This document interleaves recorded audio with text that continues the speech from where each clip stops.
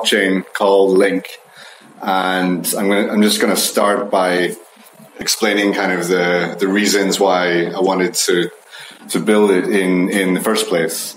Um, so the, the general purpose is to build decentralized publication apps such as Twitter or Reddit, or Medium, Instagram, YouTube, uh, but without any company owning these these platforms. Um, so to highlight some of the problems with the, the current situation, so um, there was some news last year where the the the CEO of of Reddit he uh, he admitted that he he changed some some posts that someone else had made on Reddit, um, which of course is kind of shocking because you know you, you you want to trust the platform that you know if you publish something the people running that platform aren't, aren't just going to come in and, and change it. Um, and of course, maybe this was a, a one-off event, and he he apologized. But of course, if this was on the blockchain, then this this could not happen in in the first place. Um, so another example, um, there's a, a subreddit called called India, and it's it's very popular. Um, but according to this blog post, it's uh, it has a, a very strong left wing bias, but people don't uh, don't realize that this is kind of uh, um, on on purpose. So the the moderators of this subreddit, they if someone makes a post which is more leaning to the right, then they will delete it, and if it's more on the left, they will allow it to stay up. But people looking at the subreddit, they, they are not aware of this. So they just think, well, everyone's posting about left, left wing issues. Um, and of course, it's fine to want to have your, your left wing filter bubble or your right wing filter bubble. Um, but you, you want to know which filter bubble you're in. Um, so this is one of the things that, that's wrong with, with Reddit. You, um, you have these these moderators that have their own thing they want to do, and the people using the the subreddit aren't necessarily aware of, of what's happening with, with that process. Um, another example, um, there was a, a, a, conservative personality called called Milo. I don't know if you've heard of him. He's English, um, but he was being he was behaving very badly on Twitter, and then Twitter actually they they banned him completely. Um, you know, which in a way is fair enough because, you know, Twitter run the platform. They want to look after people using the platform. But on the other hand, it, it, it, should almost be, it's, it's like using the internet. No one should be cut off from using the internet. And so no one should be cut off from being able to, to post their messages. Um, perhaps it would be more appropriate that if someone is running a, a filter bubble that people are, are using, maybe that filter bubble would ban Milo but he should still be able to publish and then um, everyone can should be able to decide which if, if they want to use a filter bubble where he is allowed to participate or not. Um, so this is this is one of the problems with having companies run these platforms where they, they should be autonomous and and on the blockchain um, another example was with the, the technology subreddit so it turned out that they were automatically banning any posts that contained the words anonymous, Bitcoin, Comcast, net neutrality, NSA, or Snowden. Um, and, and, this just happens uh, in in a way that most people aren't even aware that, that these these posts are, are just being deleted automatically. Um, so th- this is the sort of thing I would want to uh, to do better. We need to have transparency over what um, you know what people are allowed to, to be talking about. Um, and then, of course, for those of you who are familiar with, with Bitcoin, we have the the Bitcoin subreddit, and uh, this has been highly controversial for um, a couple of years, but according to many people, the the Bitcoin subreddit is heavily censored, um, and then that is why the uh, the BTC subreddit was set up as an alternative. Um, but of course, with the new subreddit, the it doesn't take all the content from the old subreddit, so it started from from scratch. If you want to to be communicating with both of these communities, you have to publish to Bitcoin and you have to publish to to B, to, to BTC. Uh, what, what should really happen is that you can just publish to the Bitcoin topic, and then you could maybe have two different filter bubbles, and people can choose which which one they want.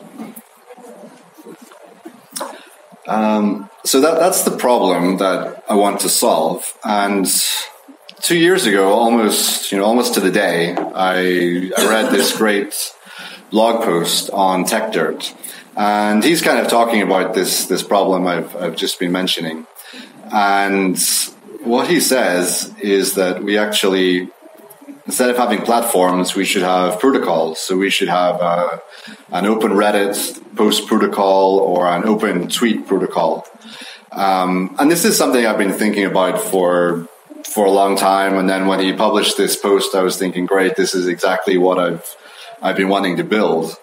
And Link is basically my my attempt to build what uh, what Mike Masnick is talking about in in this blog post. so uh, th- this is where I've got to so far. So it's the blockchain is live. It's just a, a documentation website. I haven't made a, uh, an amazing branding website to sell it. It's still uh, it's still in a, a bootstrapping phase, um, but it is it is operational. So we have um, um, you know we have a, a, network that is operational, so you can synchronize with uh, the blockchain. You can um, you can publish transactions. It's actually it's it's a, a, clone of Ethereum. So anything that you can do with Ethereum, you you can also do it with with Link. Um, so we have uh, my my blog site hosted on on Medium. Um, um, I'm on Twitter. I'm on Reddit. Um, I'm on Gitter. We we have uh, a block explorer, although um, James will be talking about the new block explorer, which will be um, appearing very soon. Um,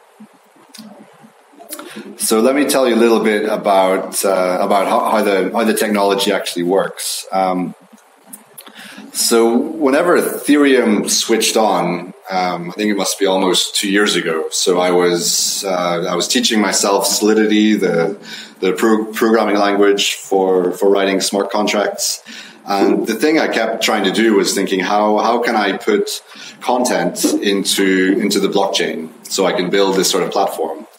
So I, I created this uh, smart contract called Blob Store. Um, Blob is actually a technical term for binary large object, and this smart contract has evolved over the past two years. It's taken on many different forms. Um, and finally, I'm I'm happy with with how it works. Um, so it actually it it uses IPFS for the actual storage of content but every every piece of content stored on Link has to to be put into the the Blob Store contract.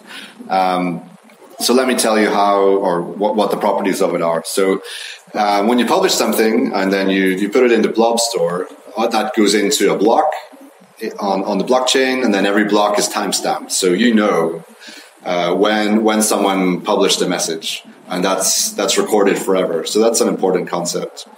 Um, it's it's world readable. Um, so with with Link, I'm specifically targeting. Um, if, if you want to publish something, it's available for, for anybody to read.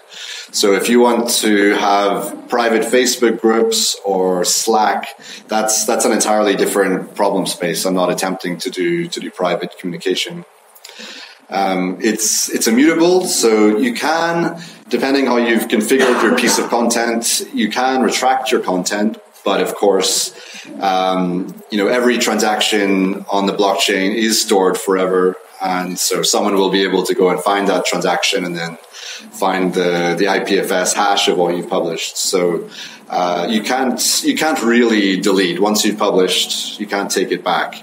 Um, but of course, that's the same with, with Twitter at the moment and, and Reddit because uh, the Internet Archive are archiving everything anyway. So um, that's that's pretty much the same. Um, it can be revision. So if, if you imagine you're uh, you're publishing a tweet or a Reddit post, and then you want to you know edit it, make a small modification. So you can do that with with Blobstore.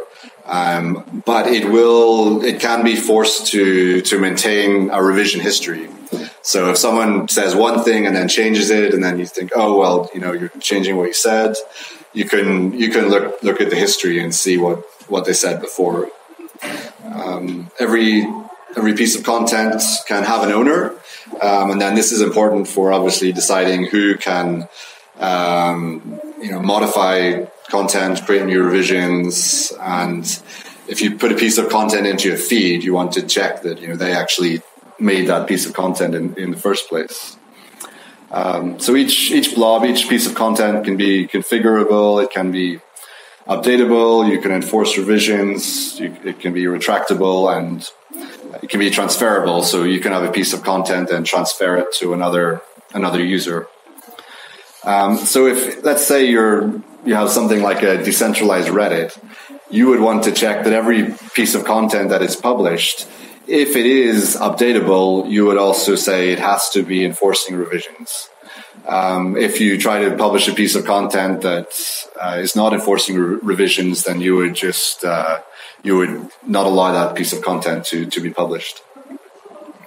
Um, so only the bare minimum is stored in contract state. We don't have any any state sharding at the moment with Ethereum blockchain. So every every full node stores the whole state, but that's just the bare minimum. The content itself is stored in IPFS, which is kind of like uh, it's like HTTP, except that.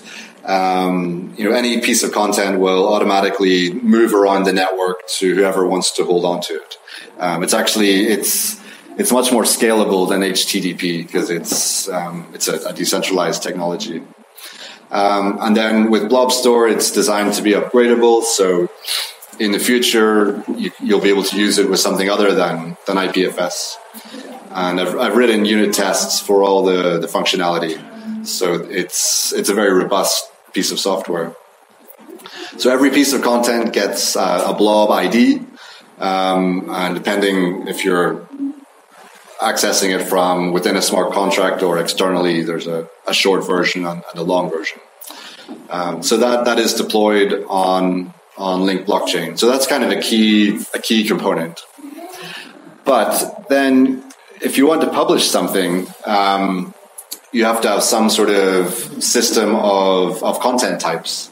So, for example, you could have an image, you could have a tweet, you could have a Reddit post, you could have your your user profile, you could have your business information, um, all kinds of different content. And your application, if, if you uh, if your application is looking at a piece of content, it needs to be able to identify uh, what sort of content that is, and then be able to check if, if it knows how to render that content. And because the the type system is hierarchical, so there's actually there's just a root content type, and then it's like a tree. So every every piece of content is inherited from another piece of content.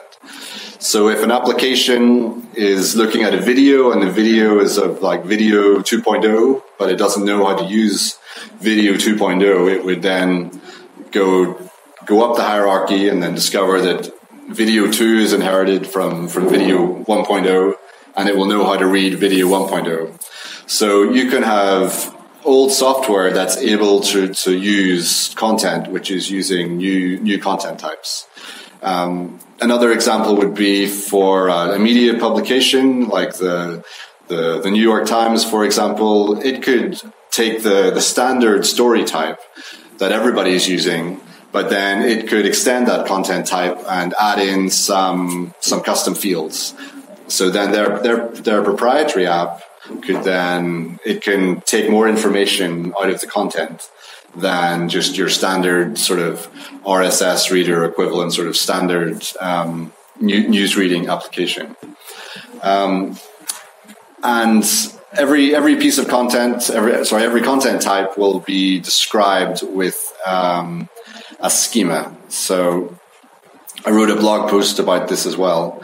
Um, so there's a language called protocol buffers created by Google. So this is when you when you create a content type, you define the specification of all the fields in your content type, and then um, when you're publishing your content, it will be encoded into a tight binary format. Then it gets compressed with with Brotli, which is also created by Google. It's a very effective compression algorithm for text. And then it gets put into IPFS. And then everyone who is subscribed to you will then, there will, everything will just be stored on everyone's device. So if, um, if you're subscribed to a user or a topic, everything that user publishes, everything in that topic will, uh, will be on your device. So you can even access it offline. Uh, so that's that's the basic idea. There's a lot more to, to build out, but uh, the main thing I want to build is a, a, a decentralized Twitter you know, once I have that up and running, then that'll be a great a great demonstration. Um, but there's a few more things I can talk about. One question would be so why isn't Link being deployed on Ethereum or Ethereum Classic? Um, so my my ex- explanation for this is if you're familiar, there was uh, a year ago there was a smart contract called the DAO on on Ethereum, and it had 150 million dollars stored in it. And then this this contract got hacked, and of course everyone starts freaking out. And then you know some people they want to rescue the funds, and other people say, well, this is against what you're supposed to do with the blockchain. It's supposed to be immutable. Um, so what, what's the way forward? So what happened was uh, there was a hard fork, and then that the hard fork is called Ethereum, and then the version that didn't have the hard fork is called Ethereum Classic. Um, and I, you know, whenever this happened for for about two weeks, I couldn't decide what what I thought about this. You know, my whole uh, you know thinking about how we're going to proceed with the blockchain was you know Ethereum makes so much sense. We have a big monolithic blockchain, and then this event completely uh, uh, you know pushed me to one side. I didn't know what I thought about it, but eventually I realized that there is a better way. We need um, we need lots of smaller blockchains. We need a federated blockchain system. Um, so at, at, the time, I wrote uh, a blog post about this, um, just explaining how um, it's my old website. Um, so yeah, 25th of July 2016. Um, I was saying we, we should have federated blockchains. So you, you can have native tokens. It's, it's like a form of sharding instead of putting all the dApps on one blockchain, sharing the same space. If you have lots of blockchains, then that's like a form of sharding. Um, but the main advantage is if you need to, to perform a hard fork, every, all, all software has bugs every blockchain has had uh, critical problems that needed to be fixed. Even Bitcoin had several critical vulnerabilities that needed hard forks to be fixed. Um, so if, if, you're deploying a piece of software on a, on a, blockchain, you want to be able to have a hard fork to fix the problem.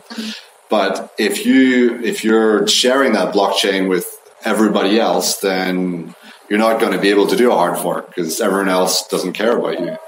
Um, so if you have smaller blockchains, that, that little community where they all have the same interest, they of course will want to have a hard fork to fix their their bug. Um, but then if, there, there are disadvantages. You you know, for example, with Link, I'm starting from scratch. I don't have a large hash rate, and that's for, for the mining. So that decreases network security. Um, so in in the long term, there are there are better solutions. Um, in this blog post, I just outlined how um, how how that can work. Um, but there are people innovating in this space. So with with Polkadot, it's a way of having uh, blockchains share the the mining and the network security and having inter blockchain communication. Um, Ardor is doing something similar.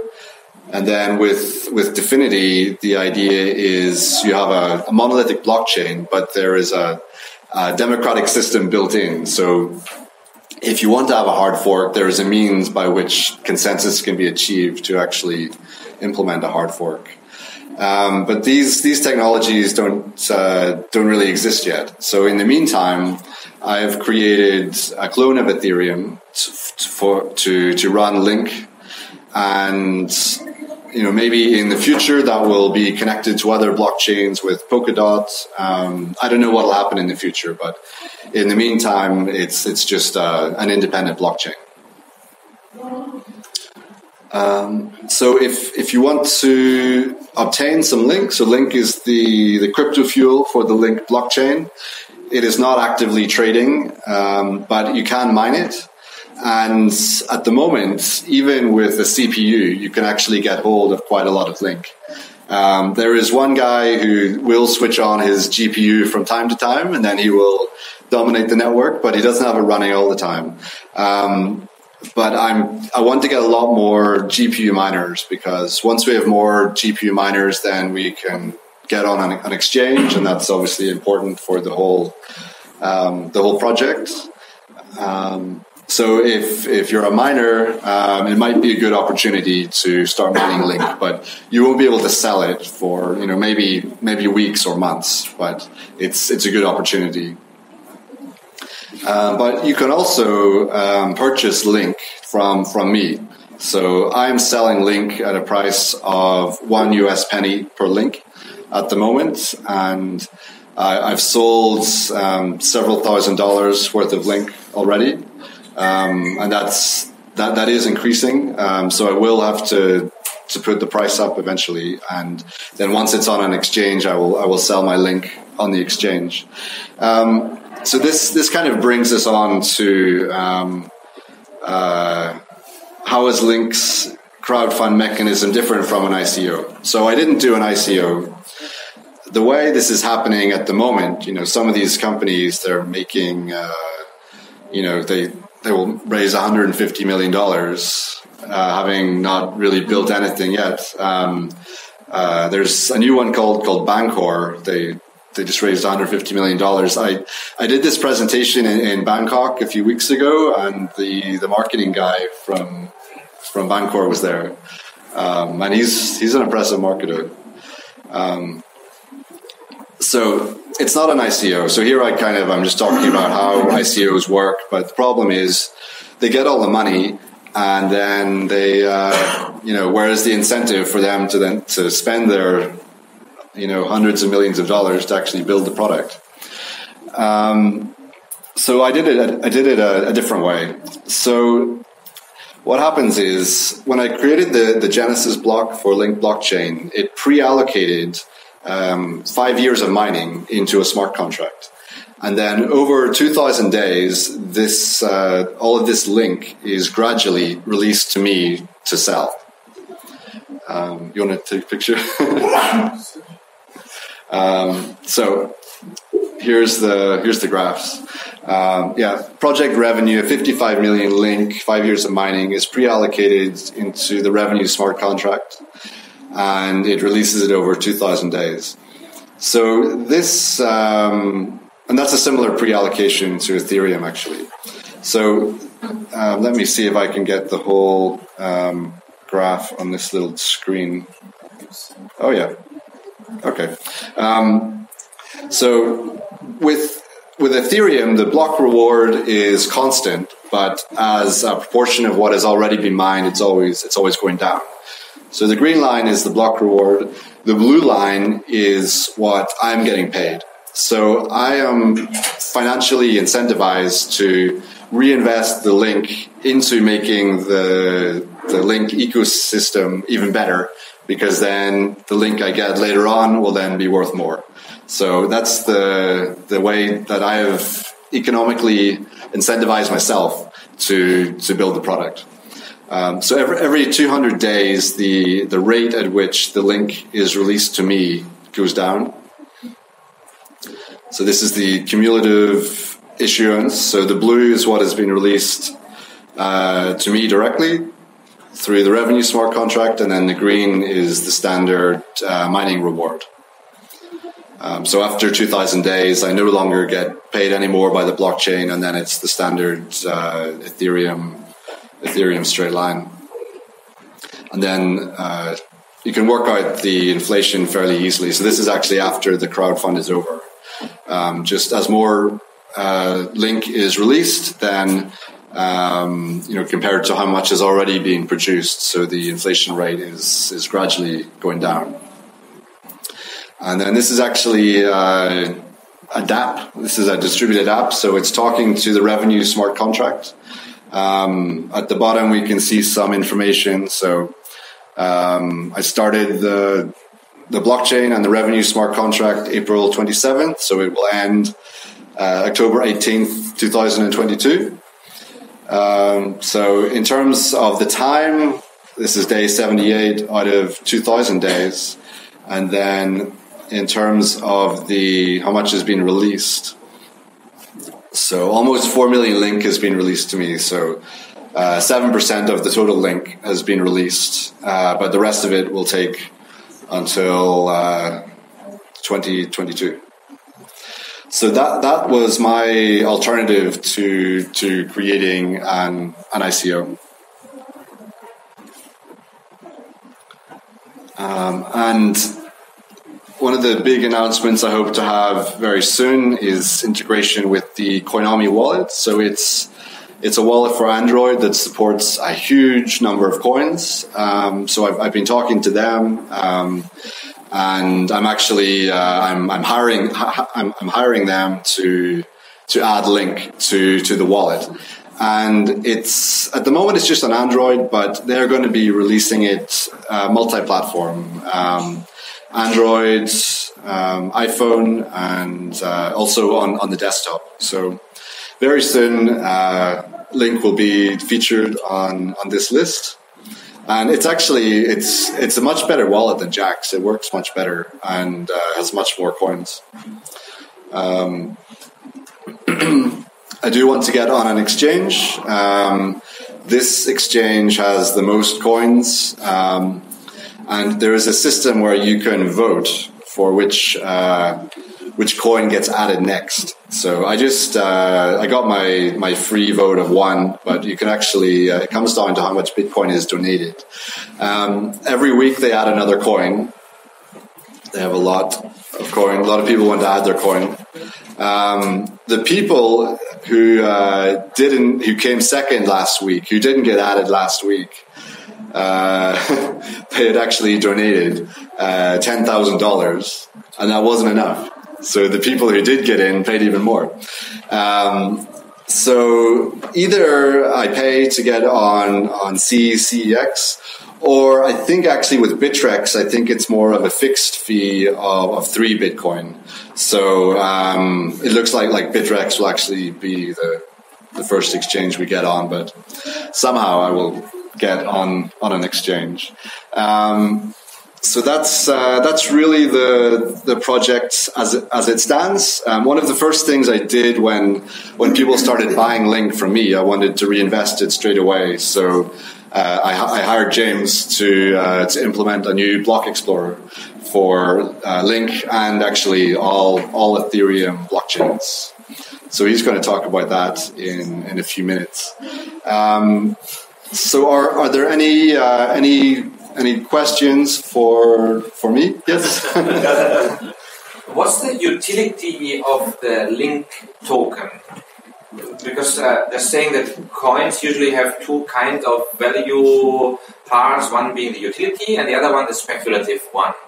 Mm. What's the utility? Uh, so every time you publish something, you have to broadcast a transaction, and then therefore you need to pay a transaction fee. So if, if you have a centralized company running the platform, you know, they will let you pay, you know, to publish for free.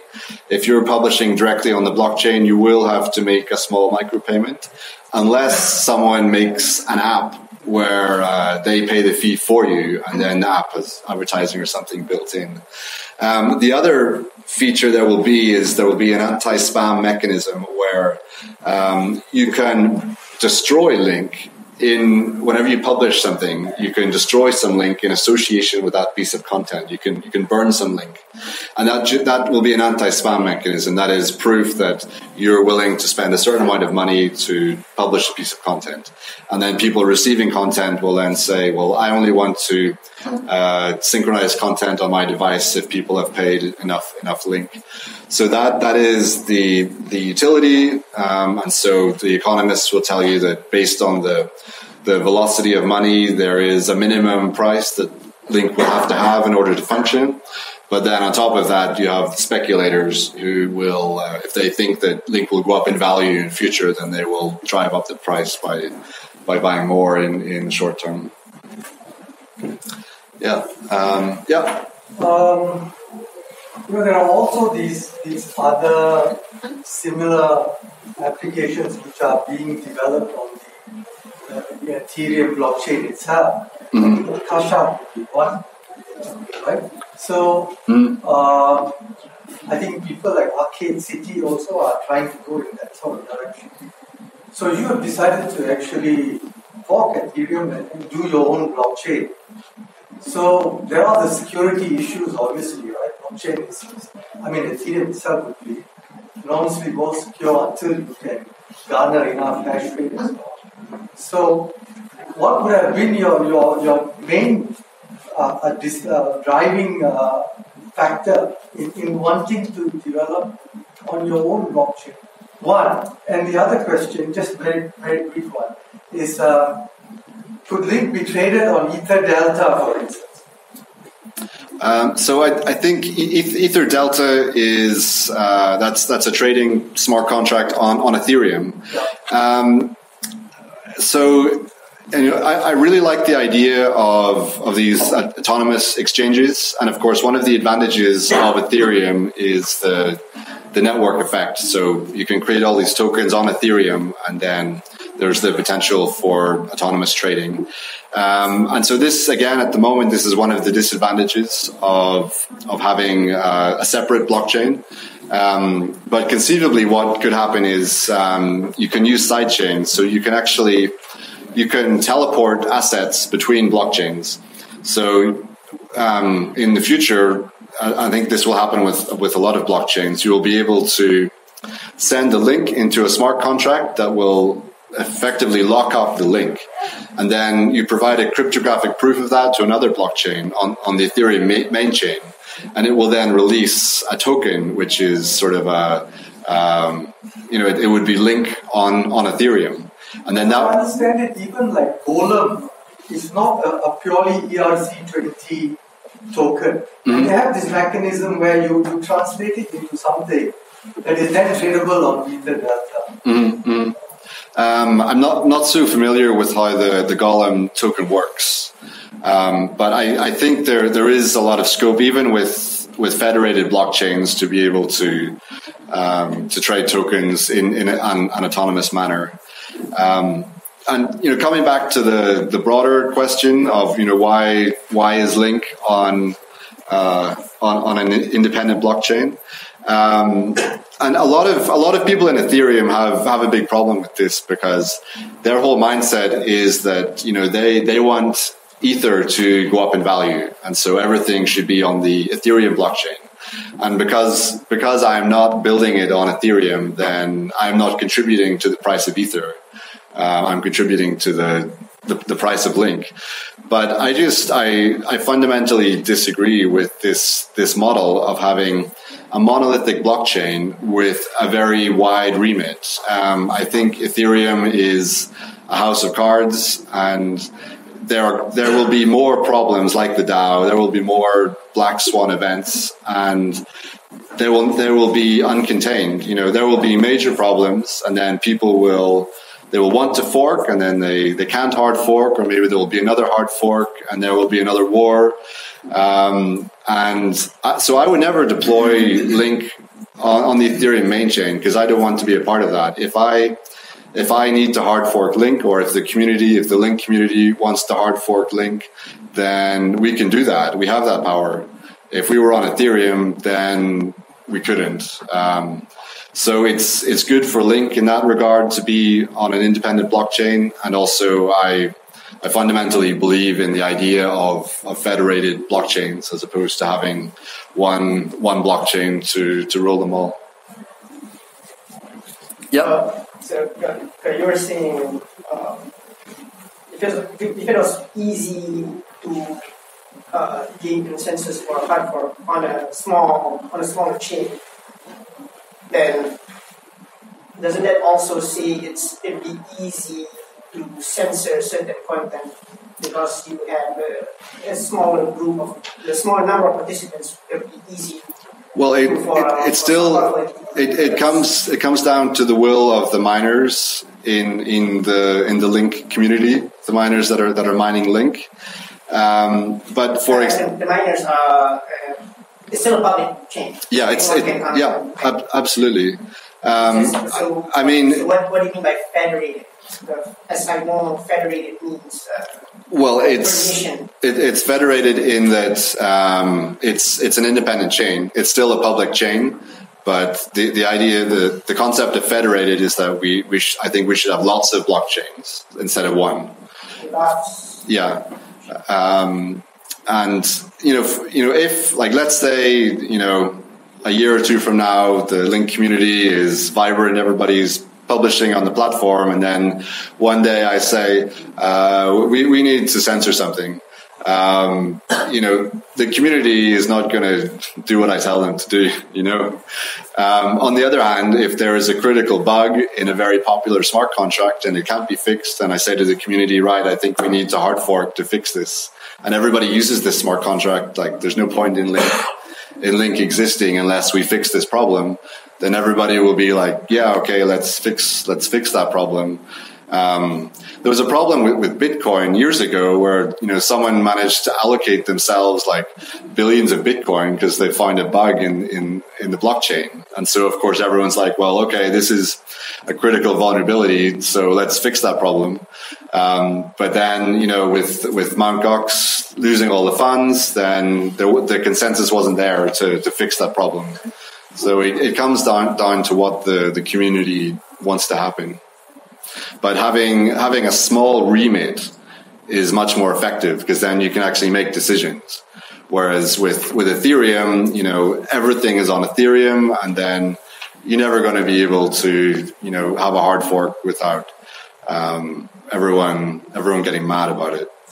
So, yeah, that's yeah. Uh, do you have do you have like a, like POC Twitter like user interface works or not not, not yet. Um, so I'm, I'm just building it step by step. I'm, I'm building protocols. Um, so for example i would build a, a, smart contract for feeds. So every time you publish a piece of content that would go into your feed there would be a smart contract for voting on, on content or liking content or replying to content.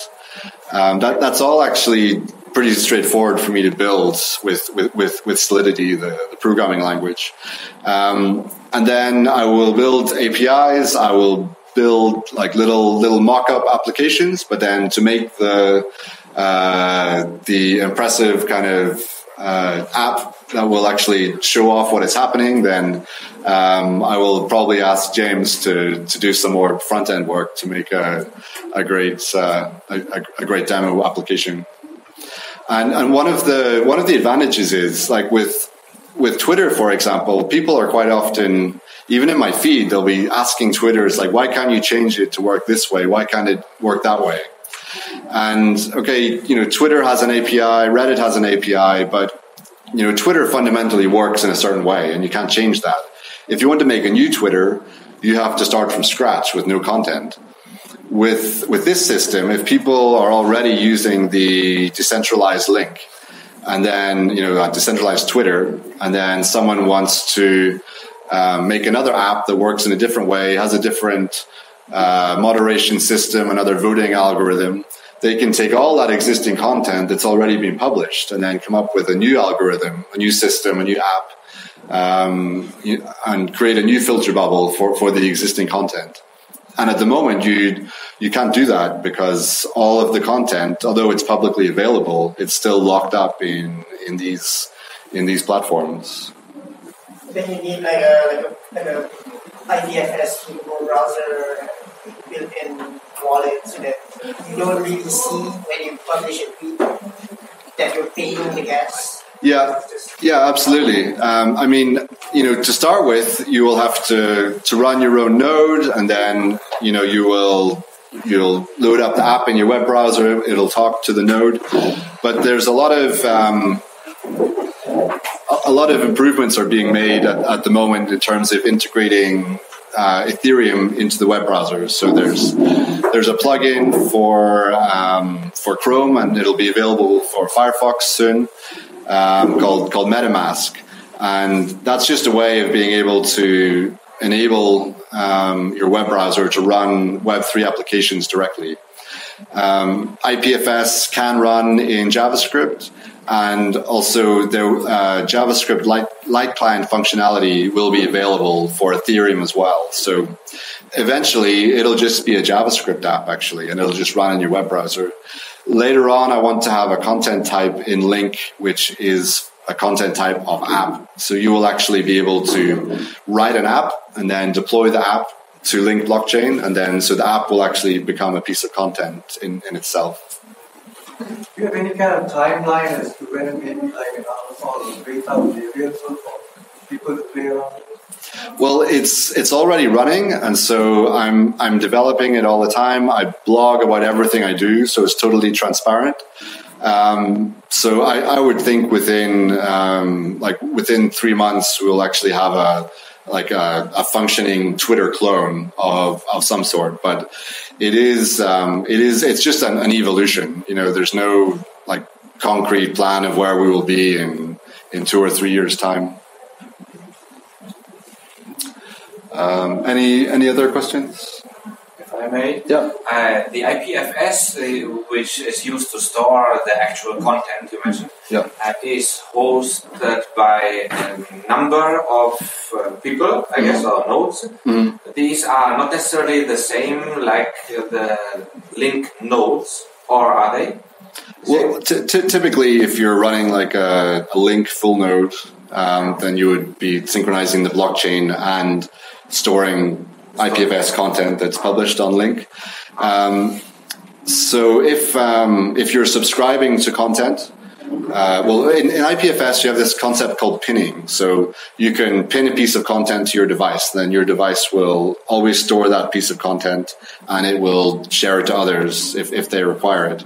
So if you subscribe to a person or a topic then anything published um, in, you know from that person or that topic, provided they've burned enough link for the anti-spam mechanism, then that will be pinned on your on, on your device.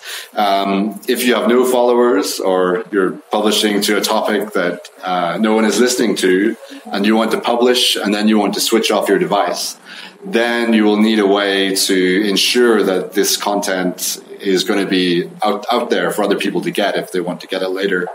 Um, but that's actually a very standard problem with IPFS. So there's a lot of systems like Filecoin, for example, where you can you can pay the network to store IPFS content, and then that'll just work the same for for link content as well.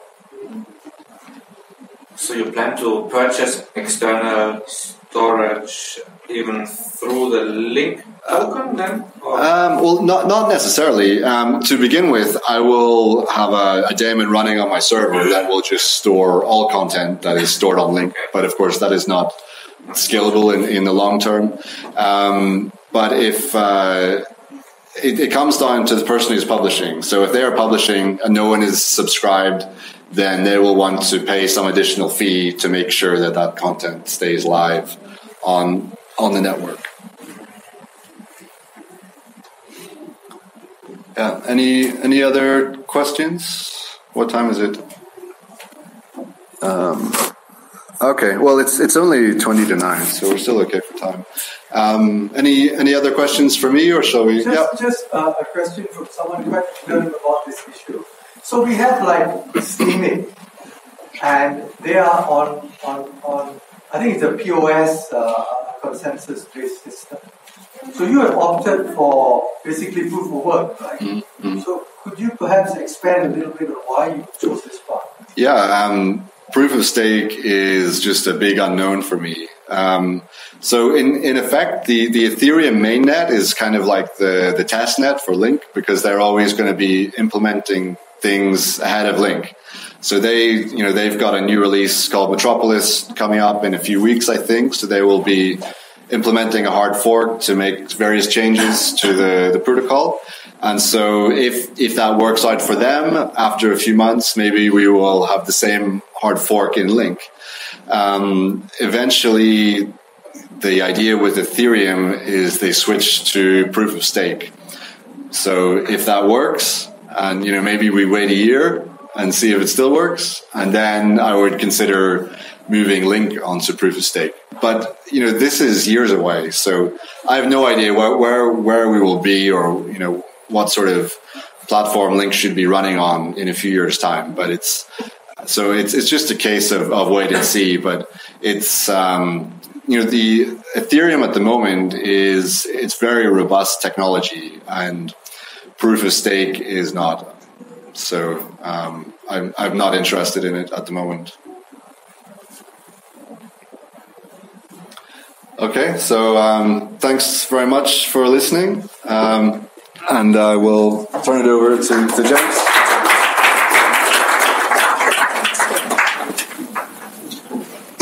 Things which I think is why Jonathan hired me, uh, and for my great personality.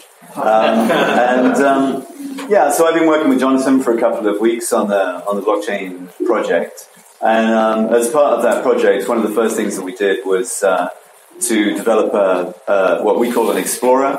Um, it was developed for Link, but uh, Link is just an Ethereum uh, blockchain. It's just a clone of Ethereum. Uh, so the client will work with uh, with any uh, Ethereum blockchain. So what I want to do tonight, um, I don't know. Are there any developers here? Yeah, one. okay, so I have no idea where you guys are from or your experience with the blockchain or your technical knowledge or, or anything like that.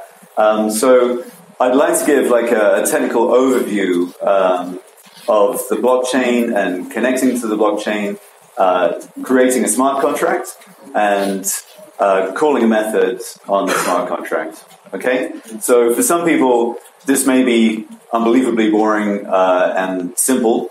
Uh, for others, I hope it gives you some sort of idea of what's going on in the blockchain technically. I should say um, the blockchain, once you get into the technical side of the blockchain, uh, it can be an extreme uh, rabbit hole. Uh, it becomes very, very mathematical, very quickly, very technical.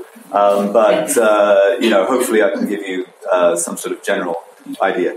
So um, the blockchain, I think, is some of you, some of you may know, uh, it runs on nodes, uh, which are servers. Okay, um, and you know, I think I'm not sure how many nodes Ethereum has, uh, thousands. Uh, at the, moment, we're we're um, getting people to create nodes for the Link blockchain, um, and creating a node uh, is is very simple. Okay, uh, you can do it with any server, or you can do it on on your laptop, uh, and that's what I'm going to do right now. There are two main um, programs, I guess, for running a node, running an Ethereum node. Uh, one is called Geth, uh, and one is called Parity. Okay, um, Geth is from the Ethereum Foundation. Parity is is more um, run by a, a, private firm. It's, it's still you know open source. It's good product. Generally, I use Geth uh, just because it's uh, a bit easier to use. Okay, so what I'm going to do, and I'll try and. Um, so you can see, I mean, this is a, a Windows laptop. Um, Windows actually has the developers feature, which is the Windows subsystem for Linux. Um, generally, I think you can run it. I'm pretty sure there are ways of running it on Mac and all the rest. It's quite easy, but um, generally, a sort of Linux type uh, operating system is is going to make your life uh, a lot easier. And all you want to do, um, there are instructions uh, on the on the link website. Okay, um, it's quite you know it's pretty easy to set up. Uh, you, and as I say, you can run you can run Geth um, just as an Ethereum node. You know if that's if that's what you want to do.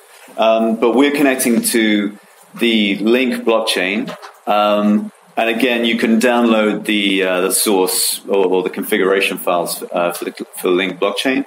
Uh, you just want to run Geth with the Link um, uh, config, you know, that you can see here. There's a couple of other options there. Uh, we're going to, I'm going to be demonstrating um, a, cli- a, browser client um, that's going to connect to the node. Uh, so you need to enable um, CORS, if anyone knows anything about CORS. Essentially, you need to enable um, outside clients to connect to your to your server. Okay. Um, so that is uh, starting the node uh, with with Link. Um, as has been as has been mentioned, when you run a node, it's uh, a replica of um, of the entire blockchain. Okay, so with this, I mean, I've been running this off and on in the last few days, so you can see it's it, it's synchronizing right now. If you were to start this with um, with Ethereum, it, it's going to take probably a few hours um, at least uh, to synchronize with with Ethereum.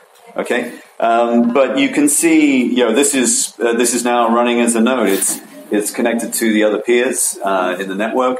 I think it's synchronized now, um, and from a sort of very very uh, basic kind of uh, point of view, um, the blockchain consists of mining blocks and then adding them to the chain. Okay, um, so there are other systems out there uh, that are mining that are, that are mining blocks, and this is just tracking each each block uh, that's mined. Okay. Um, so as I say, I'm a I'm a JavaScript developer um, and, and, sort of front end developer. Um, I've been working uh, basically to create a client. Uh, this is written in uh, React and ECMAScript 6, if that's of any interest to anyone. and um, it's all available on the website. It's all uh, open source on the, um, you know, you can go to the link website and get a link to our GitHub account. Um, and as I say, it's not just for Link. You can use this for Ethereum, um, Ethereum nodes, you know, whatever you want to do. And yeah, I mean, if you want to fork it, you know, if you have any sort of contributions or anything like that. Um, so this is this is now running. Um, okay.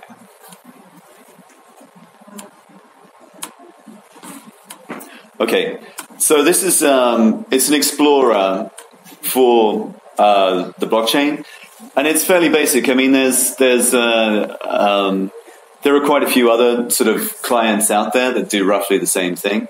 I think um, in terms of the information here, I think you know I, I, I imagine you guys are fairly familiar. Um, this is the latest block that was mined. Uh, it, it's dynamic, so it'll pick up, uh, you know, when the new blocks come along. Um, the hash rate is is the level of difficulty uh, for mining, if that's of anyone. And as Jonathan says, um, I mean, it is possible to mine uh, Link with a CPU at the moment. Um, so you know, if you're interested, it's it's quite easy to do. Yeah, and as we all know, Link is going to be worth uh, two hundred dollars uh, a link in, in the near future. So it could be, uh, you know, so it could be worthwhile investment. Yeah, that's that's all I'm saying. Um, okay, so this is the client, and I just wanted to, um, you know, as I say, I, I, I, don't know who is interested in the sort of development side of things. Um, this is just a client, okay? It, ju- it, does just compile down to JavaScript, which runs in the browser. Um, the interaction with the with the node itself um, is via uh, an API, which is published by um, the Ethereum Foundation, uh, which is Web3 API. If anyone's interested, uh, it's a JavaScript API. API. It's really quite easy to use. Um, you know, if you if you run JavaScript in the browser, you, you need to connect to your node and, you know, there's some co- configuration and so on. But um, you can quite easily use the API to, to talk uh, to the node, to get information from the node, um, and importantly, uh, to um, create and publish contracts uh, to the node, you know, if that's what you want to do. Okay? So I'm going to go through um, just qu- quickly uh, creating a, a contract. So if you go to uh, ethereum.org, uh, there are, uh, the documentation is, is not bad. I mean, it's quite comprehensive on uh, Ethereum. It's, it can be quite out of date. Um, for instance, they tell you that you can compile this, um, you know, with the JavaScript console, uh, with, with you know the Geth JavaScript console. Um, that's not actually possible anymore. I think they uh, deprecated the the solid, you know, Solidity compiler. Um, but there are other compilers out there So this is what you're looking at here. Um, as I say, this is just straight from the Ethereum documentation. This is kind of a, a Hello World um, smart contract that they uh, have published on their site. Um, and this is Solidity. So, um, or the language is, is Solidity. So, um, you know, it's, it is a programming language. Uh, I don't know if it's particularly earth shattering. Uh, you know, there's nothing there. I think if you've got any programming experience at all, um, it's it's not sort of massively difficult to use. I don't think. Um, and what happens is you have uh, your contract in Solidity, and then um, you need to compile your your contracts. Okay. Um, so there, actually, I think this is already open. So, as I say, you can do it through the command line, um, and you can. Um, I think there are repositories for, for the Solidity compiler. Uh, but what you can what you can do, which I think is you know an easy and, and sort of quick way of doing things, um, is you have uh, on the Ethereum site a um, compiler called uh, Remix. Okay, and it's very very simple. Um, you know, you take your you take your code. So if I take that out. Um, it will automatically update. I mean, obviously there's nothing there, so it's not, not going to compile. Um, if I put the code back, uh, it will it's it will compile it. Okay. And when I say compile, um, there are two main um, components, which I can't see. Try this one. Okay. So in terms of uh, deploying a smart contract, there are two main things uh, that uh, that you need. Okay, uh, one is the bytecode, uh, which is here, and one is the ABI, which um, I I always always forget what ABI stands for. Um, I can't remember now. Application binary interface. Yeah, yeah, okay, so that's it. So, as I say, I, I just always uh, forget forget the the uh, what that means, uh, that acronym. Um, but anyway, so you need the application binary interface and you need the bytecode uh, in order to deploy your contract uh, to uh, the blockchain. Okay. Um, so again, I mean, this is you know uh, this is a client. It's just I mean it's running on my uh, you know my machine here, but it's interacting you know via the web uh, via the API to the uh, to the node. Um, and what I've done, I mean, I, I, sort of made this little client here. Um, this is pre-filled because I figured you know Murphy's law being what it was and this being a presentation that guaranteed if I tried to compile things and put it here, we, would be here for the next half hour. Um, but anyway, you, you, this is essentially just the ABI and the bytecode uh, that came from, sorry, that came from Remix. Okay? So it's just a copy of this and this uh, that I've put in there. All right? Um, this is a um, Hello World application. So what it's going to do is it's going to create a um, smart contract on the blockchain. Okay, and this this smart contract essentially has uh, one method, uh, which is greet. Okay, and um, greet is just going to return.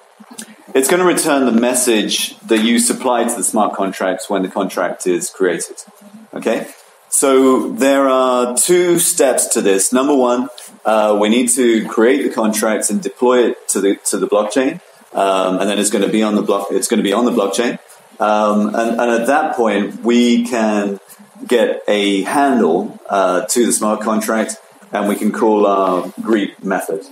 Okay. So this is so this is the first step, and um, we'll put in a message. So hello, Kuala Lumpur. Um, yeah, does everyone everyone follow so far? Everyone's okay? Okay. Um, so, so and, and, just to demonstrate as well. So this is this is uh, you know this is uh, the the node that I set up uh, before. Uh, as you can see, you can see the new blocks uh, coming into the into the blockchain. So when I do this, when I as I say, create contract is going to um, deploy this smart contract to the blockchain. There is a there is a cost to this. There's a transaction cost, um, which is not generally very high, but there is the cost will depend on the complexity of, of the contract, um, but there, there, needs to be a um, there needs to be link essentially, or, or ether, if you like, uh, supplied as as part of deploying the contract. So I'm just going to do that. If we watch the node, um, so create contract, okay, and you'll see that um, you can see here that uh, the, the, contract has been deployed uh, to the blockchain. Now, as it stands, that doesn't actually mean anything. That uh, I mean, the contract has been deployed. It hasn't. Um, the transaction has not be, yet been fulfilled. Um, by that I mean it needs the the transaction needs to be paid for. Okay, um, and once that has occurred, then uh, you uh, the contract is is usable uh, and deployed in the blockchain. So I think you can you can hopefully you can see this block here. Uh, that was the block uh, that processed the transaction, and uh, and also, as I say, also kept track of uh, of some of the cost in in deploying that contract. And here, um, it's not very exciting. As I say, the, the client now knows uh, that that contract is is valid, you know, on the on the on the blockchain. Um, and we now have a, a, method, you know, that we can call from the client um, to that smart contract in the blockchain. Makes sense? And all that's going to do, I mean, I'll just show anyone that's interested. Um, where did I put that?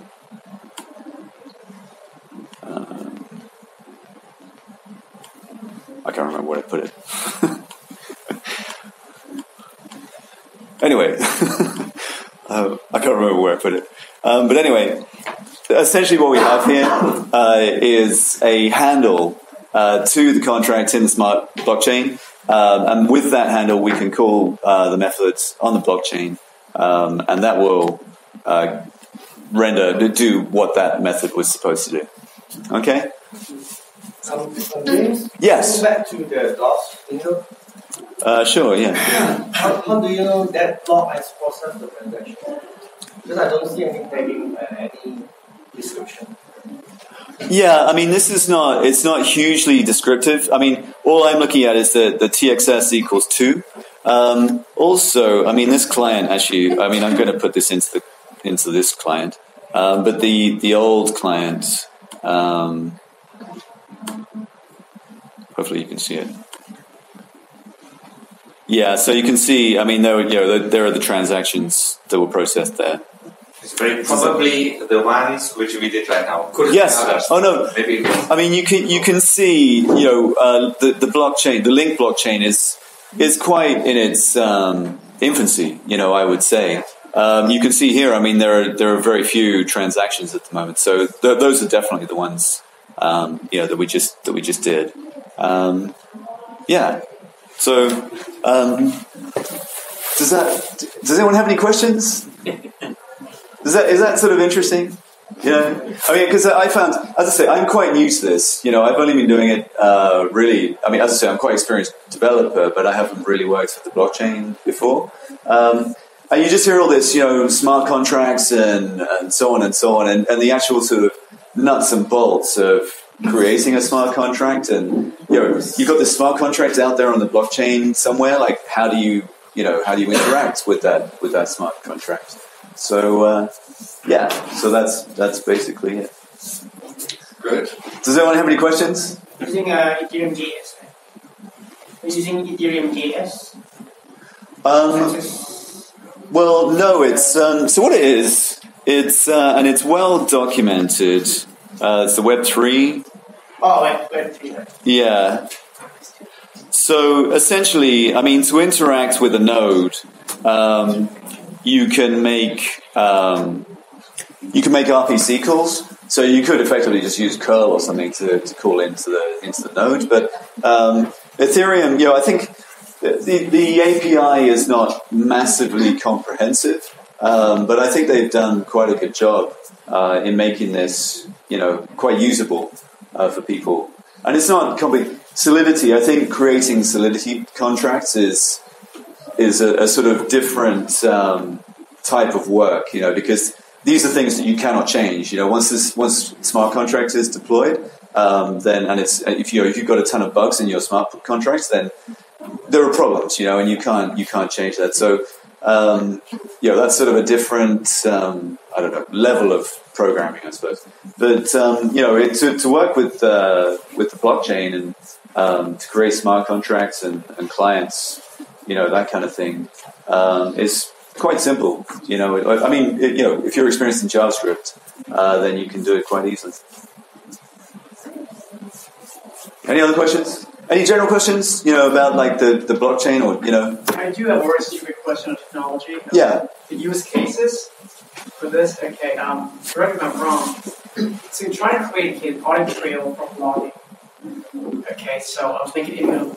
Mhm. Alright, but I'm okay, a blogger, okay, or anyone, okay, um, my interest would be to delete my blogs. If I'm Donald Trump, for instance, okay, I don't want to be immutable. I want to delete my trace, okay, on internet. Um, so what are the use cases really, okay, of this? I mean, apart from maybe patenting, okay, you know, your blog. Um, it, it comes down to you, you want to have the, the right to be able to, to publish and to be able to, to build new systems, new, new filter bubbles, to come up with new ways to display the content that people have, have published. Um, it might be that, you know, maybe the majority of people will be happy with having a, a company run, you know, control all their data, um, but sometimes it matters and sometimes it's very important to have something that is uh, in, independent from from control. Censorship. Yeah, Alright. yeah. I see. Okay, thanks. I mean, it can also be consumed in many, many different ways. You know, if you've got a, a content, you know, as Jonathan says, you know, your content um, type, um, you know, it can uh, it can be just about anything. It, it can, in, you know, inherit from from other types of content. So you can have a content type that's a tweet, um, but you may that you could add on to that, you know, other attributes, um, you know, different ways of of interacting. Um, yeah, I mean, it's really, uh, I don't know if it's a cliche, but um, sort of freeing data and just being able to consume it in any way, shape, or form, you know, that you want. Yeah. So, uh, uh, you know, for me, like the way I look at it, um, and Jonathan knows it a lot better than I do. I mean, if you take the New York Times, like, or, or any other sort of media organization, um, you know, they would be able to have their content out there, but their content would be able to be consumed in numerous other ways uh, by numerous different clients. You know, if that does that make any any sense? You know, you could have a we've got Twitter, um, but there may be different types of Twitter, or you know, different ways of Maybe there's a you know- new version of a tweet. So maybe we add, Yeah. we add GPS coordinates to the tweet. But if you have an older app and it doesn't know how to read the, the GPS coordinates from the tweet, it can still read a tweet that has the GPS coordinates. It'll just ignore those fields that it, it won't understand. So, you know, it's, it's this idea of just being able to extend upon the, the content types, but it's, it's still fully compatible. How much of you know a configuration effort uh, does it take to, to get get for instance to run click block Sure. Um, I mean, it, it, you know, it, it's difficult as a developer um, because things that seem quite obvious, you know, are not are not that obvious to other people. I mean, I would think, I, as I say, I use Windows and I use Linux. Um, you know, I would say you probably need some sort of ability to work with the command line uh, in Linux, but it's, I mean, it's it's quite simple. You don't need, you know, very many commands. Um, and the, the, the documentation is really all there. You know, once you once you've got a Linux uh, environment, even on your laptop, you know, it doesn't have to actually be a server. Um, you know, it's quite easy to install Geth. Um, you know, and then you, uh, it's quite easy to install uh, the link blockchain configuration files, um, and that's pretty. That's pretty much it. Uh, the instructions. on your website. Yeah, everything's documented, and of course, the idea is to have native applications eventually for for Android, and iOS, and Windows. and- But How yeah, many nodes do you have roughly? Um, it's generally between ten and twenty nodes. Um, and the, the website, uh, just link-blockchain.org will get you to the website, and then there, there's various subdomains. Um, uh, so at the moment, it just redirects to this documentation website. Um, but one thing I want to do quite soon is to um, just create a, um, a very nice kind of front page, just to uh, make it a bit more user friendly. Um, and then there, there's some subdomains for um, if you go to blog.link-blockchain.org, it goes to the, the blog on, on Medium, and then there's a stats page, and we have uh, uh, a block explorer, although that's soon to be updated with, uh, with the version that, that James is, is putting together. So you've got like your own Geth source code there, which you would down, download. it. So you, you run um, you run the stock um, Geth or the stock parity, but it has a configuration file.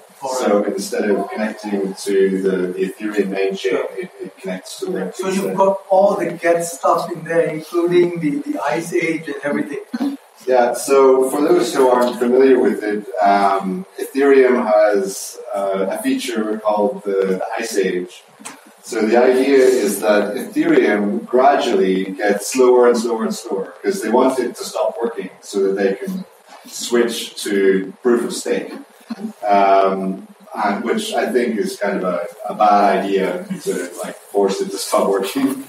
Um, and with with parity, you can actually in the configuration file you can switch off the, the age.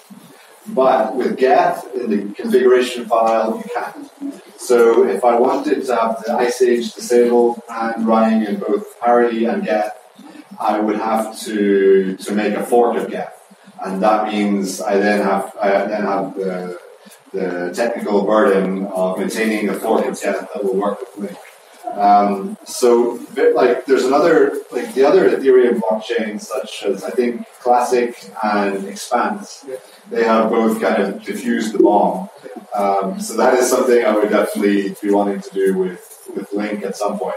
So right now, if I were to download um, the latest version of Geth, for instance, and I would run that on, on your blockchain. It would include the, the, time bomb, meaning longer block times. Uh, yes, but because the, the Link blockchain is considerably younger than the main Ethereum chain, so it doesn't make any difference yet. But in, in terms of, of, of, syncing up, yeah. in terms of the actual block times? Uh, in, in a year and a half, if we don't change it, then the block times will start to get slower. Uh, but I, I, fully intend to uh, to fix that problem before it happens.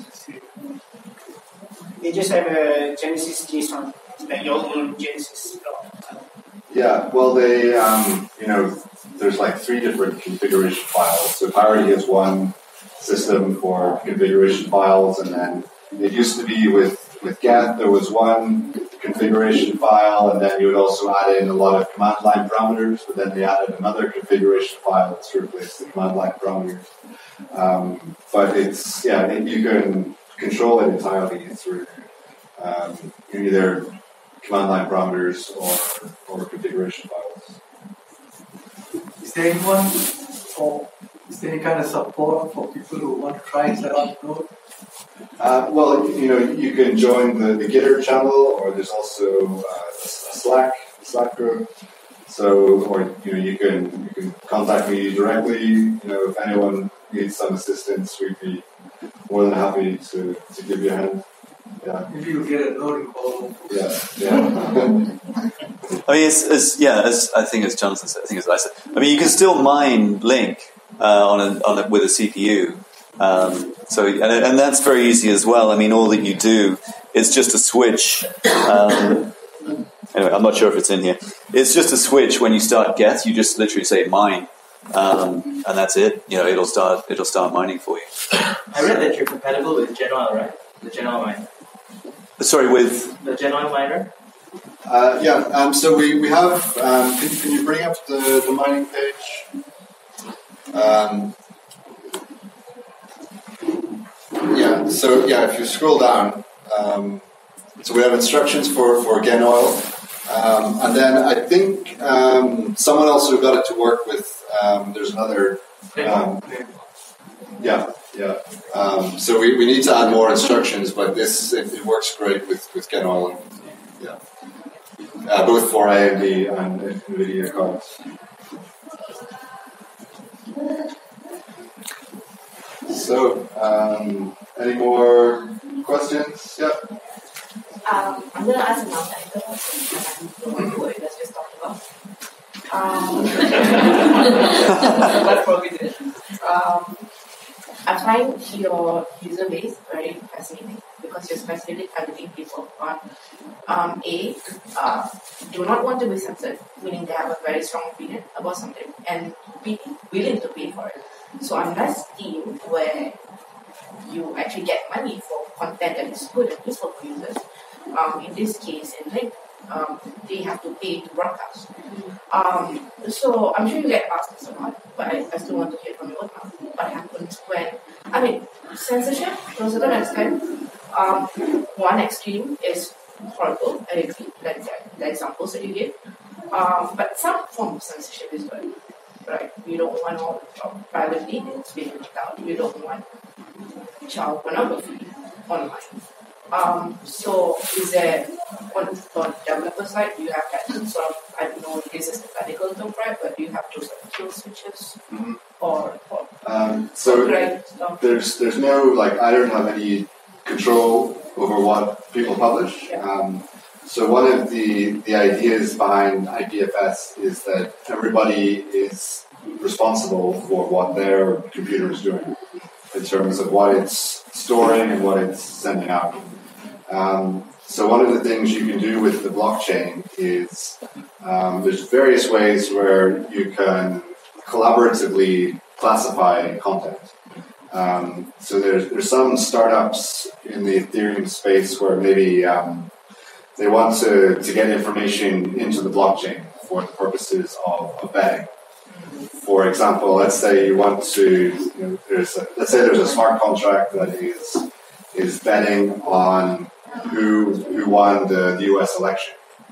So you can write that in a smart contract, but somehow the, the smart contract needs to know what the result was. And of course, you know, everyone in the world can be in agreement with like what what was actually decided in the end. But if you have an authority giving that information to the smart contract, then that is that kind of undermines the whole point of of having a decentralized system because then you're trusting this uh, this one oracle to tell the truth to the smart contract. So the alternative is to have what's called uh, a decentralized oracle. And what you can do is you can financially incentivize lots of people to tell the truth. So with something like who is the president of the United States, almost everybody is going to know the answer to that question. So if you if you allow people to put in some money into the system, and then you ask them like who is the president of the United States, and then if they are in agreement with the majority of, of people, then they get paid a small amount of money. If they are um, if their answer is not in agreement with the majority, then they, they lose their, their deposit. And so this is one way where you can uh, try to put information into the blockchain. So you could have a system where if a piece of content, you know, for all content that's getting popular on Link, people want to be able to classify it to know whether or not they want to store it on their computer. You know, maybe they don't want to store certain content because it's illegal or it's, it's immoral, and so they just want to have it blocked. They don't want it, you know, on their device or being distributed from their device. But they can't check everything that's coming through. So you can get the, the community as a whole can, through a system of a decentralized oracle, can classify content. And then you would set up your computer to automatically, you know, say if, if the community has decided that this is a certain piece of content, um, then that's, that piece of content will, will not be stored on your device. Um, of course, you know, some people are still going to be, uh, you know, storing and serving certain content that most people uh, would want to be available. Um, but that's that's something you you can't really prevent, and that's also the same that's happening right right now with with the web as it is. Um, so that's uh, that's kind of my my answer is that um, like fundamentally link is about like independent or in, in individual responsibility. So now you're confirming that there's no kill switch in any form. Oh, there, there's no there's no kill switch. I don't have any power. There's no censor as well. Yeah, everyone can choose their own filter bubble in terms of what they what they want to be consume. Yeah, what about attribution to the content that's published on the Link blockchain? Is there anything that can bind it to a particular publisher, or is it decentralized as how not usual blockchains are? Well, in, in terms of the content type, you could certainly include information. You could say, well, I've, I've taken this image that was licensed in a certain way and I've, uh, I've remixed it in a certain way and I've produced another image. Um, but the, you know, the, the internet is fundamentally uh, a copying machine. So if, if a million people copy your, uh, your song, there's not much you can do about it. But if uh, if one entity is taking what you've created and they're making a lot of money, then that's um, that's that's one entity you can then you can go after. But you can't you can't pre- prevent piracy. You know, And Not so much on the topic of piracy, but perhaps when someone writes something that another person doesn't like, um, is, are there any possibilities of um, someone impersonating another person on the blockchain and things like that? well, you know, you, you are in control of your account. So whenever you publish a piece of content, that is tied to your account. Okay. and um, unless someone gets hold of your your private key or, or your credentials, no one else can publish content that, that is coming from from you. Okay. What happens if they put in false information or false news and try to influence the public on certain things you know, that uh, some, maybe illegal or whatever is fake or whatever? How do you trace that person? You cannot trace it. Uh, well, you can't you can't trace the person, but um, Someone can put in those things in, so it's up to the public to decide yeah, and whether it's true or not true. Or- anybody can decide anything, but I really think with, with the blockchain we are going to have much better tools for for discovering like what what truth is because as a Westerner who comes to Asia, you know, we we have uh, you know one sort of concept of what the world is, and then we come to Asia, and then everyone has like an entirely different opinion, um, and so actually like discovering like what uh, what is reality is, is quite difficult. It's just like I'm thinking of North Korea, you know, they, Yeah. they, they brainwash the whole population. So the guy used a blockchain to publish to all these. So people just believe what So, the so person one, you know what I mean? one, So you, you find some population are not so able to to what God to know what is the real real thing. So you can see in around the world that some countries they're still in the dark, you know, you know what I mean? Even though there's internet or information being flow freely, but it's still being infused. You know?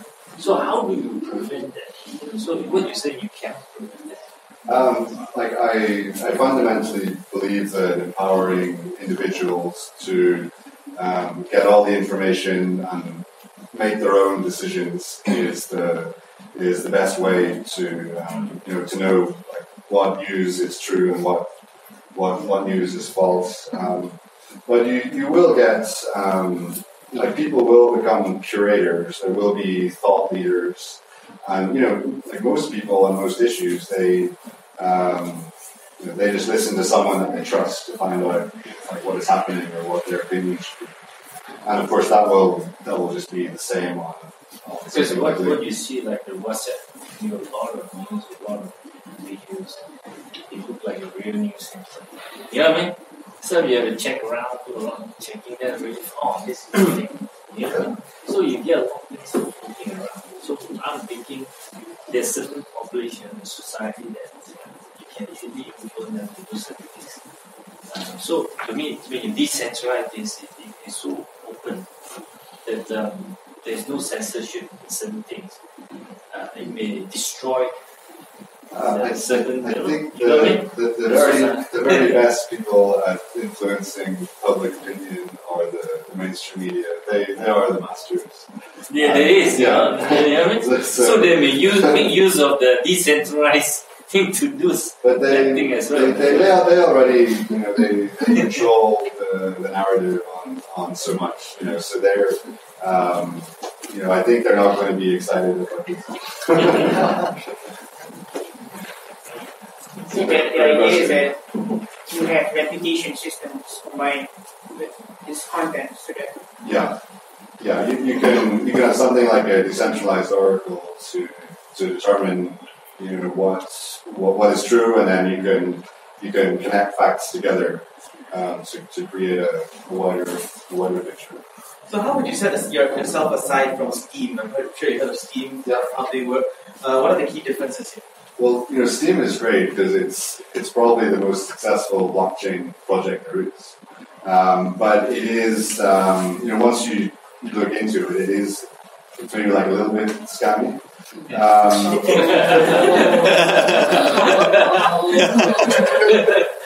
I agree. Yeah. um, and the other thing is you can't you can't just keep inflating a currency to pay for content creation. You know, you can do that to an extent, but ultimately, um, you know, you, need people paying real money into the system. Um, and you know, because Link is it's a it's on a general purpose smart contract platform, so there are many ways to uh, to build gamification and monetization systems on, on the blockchain. And that, that process it has, has already begun, I think. Okay. So you um, don't have too many concerns about building a mass of miners who will actually bootstrap your, your blockchain. Uh, well, the, the miners are key. Um, so we, we um, there's certain certain things are are essential. So we, we need to get into a wallet. We need to uh, get onto an exchange, and we need to improve the network security. And then these things all are all interconnected. Um, but on, on the other hand, because um, you know, if, if you make a balance transfer and someone reverses the the transaction, you know that that's real money that's gone missing.